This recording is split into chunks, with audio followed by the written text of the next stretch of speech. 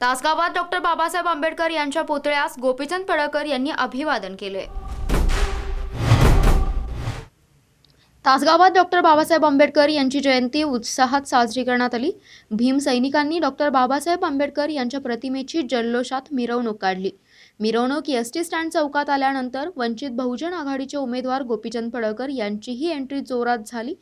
Doctor Babasaheb Ambedkar व गोपीचंद पळकर यांच्या जोरदार घोषणा देण्यात आल्या. यावेळी एस टी स्टँड चौकातील वाहतूक अर्धा तास विस्कळीत झाली.